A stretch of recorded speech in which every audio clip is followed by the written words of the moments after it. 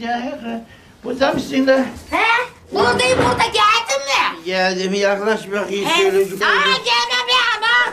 Dokunur musun bozarsın bozarsın şimdi. Ne diyorsun lan sen ne bozarsın bozarsın. La sabah elimin ayarı öcük fazla kaçtı pişmanlık duydum.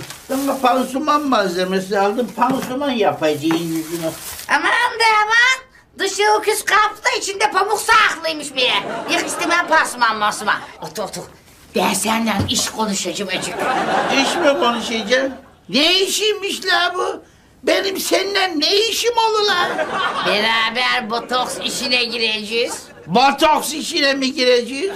Beni şu sosyetik karla kafasına, gözüne, yüzüne bir şeyler yaptırıyor. La salak! Nereden çıktı lan şimdi bu? Ne alakası var la? Sen de doğal bir botoks yapma yeteneği varmış da ulan haberimiz yokmuş be. Sabahleyin giderken şöyle bir elinin tersinden suratıma indirdin ya. Anam karılar bayıldılar botoks yaptım zannettiler. Bir tanesi dedi ki üçe beşe bakmam ne istiyorlarsa vereceğim. Aynısından bana da yapsın kime yaptırdıysan dedi. Paradan verecekler la! Lan beni bak, dalga geçiyorsam yemin ediyorum bak, baştan aşağı botoksların çıksın. Ulan vallahi bak. Yalnız sen şundan haber ver.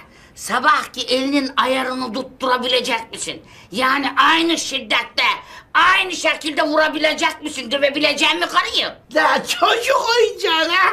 Ben bu işin profesörü olmuşsun la! Ah, kuyumcu terazisi gibi hassastı benim ellerim.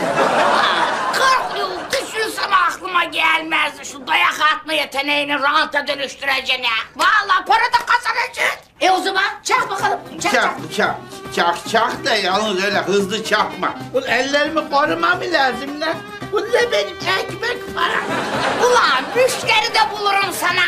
Çakarsın botoksu suratına. Çakarsın botoksu. Hayatta en çok istediğim şey oldu lan. Kendi hobilerimi işe dönüştürüyorum lan. Bak amatör olarak yaptığım zevkimi bundan sonra profesyonel olarak yapacağım.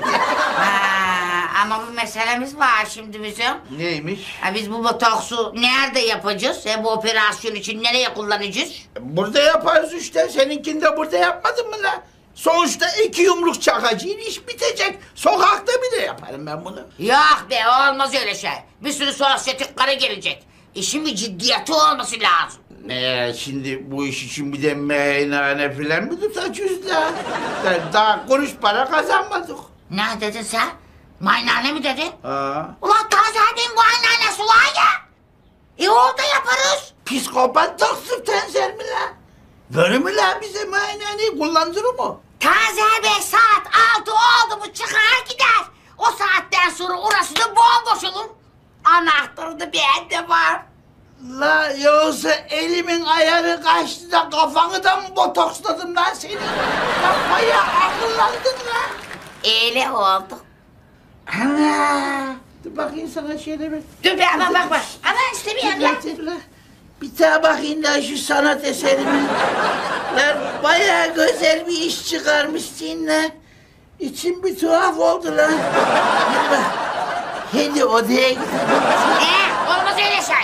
İş başka, aşk başka. Karıştırmayalım lütfen.